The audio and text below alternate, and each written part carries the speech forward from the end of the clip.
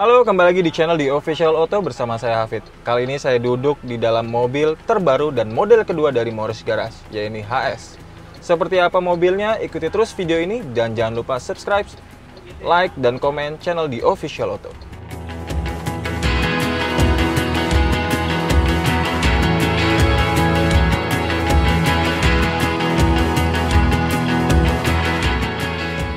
Desain mewah disajikan Morris Garage pada eksterior HS. Wajahnya dihiasi grill besar dengan motif bintang bertabur. Corak ini dinamakan Star Rider oleh Morris Garage. Komponen pun berpadu apik dengan sektor penerangan, model proyektor yang dibuat tajam. Desainnya makin atraktif karena dikerubungi daytime running light. Kontur tegas mewarnai tubuh bagian samping. Area ini dilengkapi dengan fender yang punya warna kontras body perangkat pun meliputi pelek abu-abu gelap berukuran 18 inci dengan palang bermotif elegan yang juga menyeretkan sedikit aksen agresif. Bagian belakang tak kalah atraktif, ada nuansa sporty bercampur dengan konsep elegan. Morris Garage sepertinya tidak asal pasang lampu kombinasi, soalnya perangkat terkombinasi manis dengan keseluruhan rupa buritan. Ini pun masih diperkuat underguard pada bumper untuk menonjolkan kesan sporty. Sayangnya ground clearance tidak dibuat terlalu tinggi, 145 mm. Ini menjadi kekurangan ketika mobil melintasi jalan yang kurang rata. Kemungkinan bodi bawah menggerus jalan bisa saja terjadi.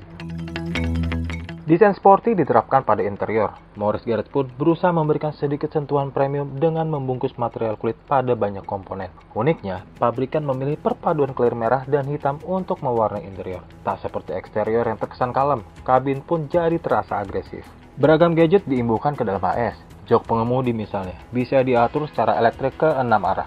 Khusus varian Ignite, jok penumpang baris depan juga bisa disetel secara elektrik, namun arahnya terbatas ke 4 titik saja. Gaya minimalis dengan lekukan lembut memenuhi dashboard. Area tengah menjadi tempat bertengger head unit berukuran 10,1 inci. Di bawahnya tentu terselip pengontrol AC pakai model tombol yang berbaris rapi. Konsol tengah pun diisi tuas transmisi beserta beragam tombol fungsi. Bila ingin mengaktifkan rem tangan, cukup ungkit tuas di belakang persneling. Ya, HS sudah menganut parking brake elektronik. Ada pula pengaturan mode berkendara dan auto hold yang mudah dijangkau oleh pengemudi. Soal kelapakan paling terasa di baris kedua. Ruang kaki dan headroomnya cukup lebar.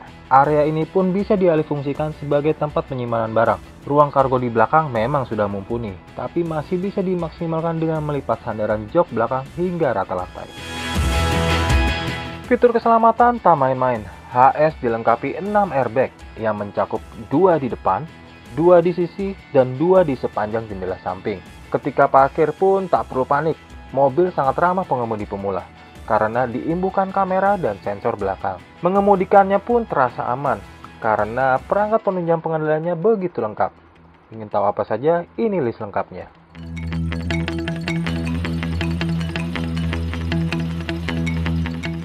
Soal performa, Morris Garage HS terbilang mumpuni mengandalkan mesin 4 silinder berkubikasi 1,5 liter yang disokong perangkat turbo. Keluaran tenaganya terasa powerful. Outputnya mencapai 162 PS di putaran mesin 5600 rpm, sementara torsinya 250 Nm yang tercipta di rentang 1700 hingga 4400 rpm. Seluruh tenaga disalurkan ke roda melalui sistem transmisi otomatis Twin Clutch Sportronic 7 percepatan yang juga dapat diatur secara manual baik lewat tuas persneling atau pedal shift di belakang kemudi. Kinerja mesin pun dapat diatur sesuai kebutuhan melalui mode berkendara, terdiri dari Eco, Normal, Sport, Custom, dan Super Sport.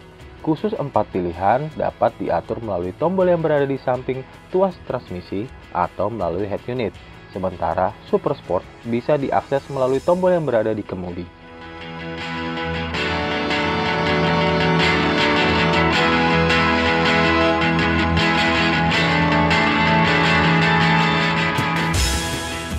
Nah, itu dia tadi first impression dari Morris Garage HS.